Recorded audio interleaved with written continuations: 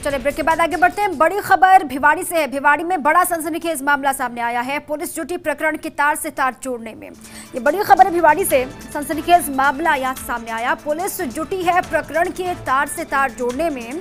संदिग्ध हालात में दो मासूम बच्चियों समेत माँ की भी मौत। मौत के बाद ससुराल पक्ष ने गुपचुप तरीके से किया अंतिम संस्कार। गाँव में किसी को भी कानो कान खबर नहीं हुई। आज कंट्रोल रूम पर आई एक सूचना से मचा पुलिस प्रशासन में हड़कंप।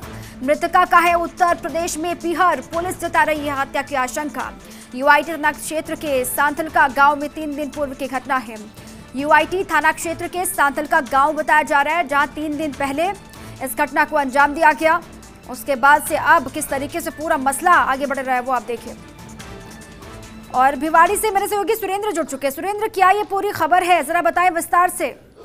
दीपा देखिए, बताना चाहेंगे कि सबसे बड़ा यह सनसनीखेज मामला है भिवाड़ी का, जहाँ पे दो बच्चियों की संदिग्ध परिस्थितियों में मौत होती है और एक जो उनकी माँ है, उनकी भी मौत होती है और उसके बाद गुप्त तरीके से तीनों शवों को जला दिया जाता है और तीन दिन बीत जाने के बाद कंट्रोल रूम से सूचना मिलती है कि इस तरह की घटना जो है वो सामने आई है और उसके बाद पुलिस इस पूरे मामले की छानबीन में जुटी हुई है और ये बड़ा एक सनसनीखेज मामला है। कि पूरे गाँव में इस पूरे इस, इस, इतने बड़े मामले की जानकारी तक नहीं दी गई। और इसमें दूसरी जो हमारे जो सूत्र है उनसे यह भी सूचना मिल पा रही है कि जो ये इसका पीहर था जो महिला जो मृतक है इनका जो पीहर था वो यूपी में था।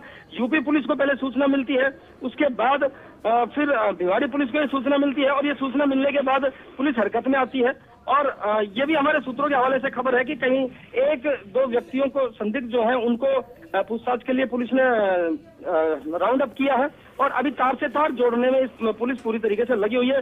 कह सकते हैं कि ये बड़ा मामला है। पूरी तरह से जो रिश्तों का ताना बाना है, वो यहाँ पर टूटता हुआ नज़र आ रहा है। दो मासूम बच्चियाँ, जिनका कोई दोष नहीं था ये मालूम नहीं है कि आखिर किन किस जुर्म का इनको सजा मिल पाई? लेकिन अभी तक जो ये मामला पूरा अनसुलझा है, पुलिस इसमें पूरी तरह से जुटी हुई है और कुछ देर पहले ही ये मामला पुलिस की जानकारी में आया है। दीपा।